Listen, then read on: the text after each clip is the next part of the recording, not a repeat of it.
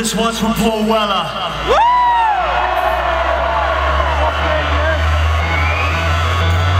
Fucking love you.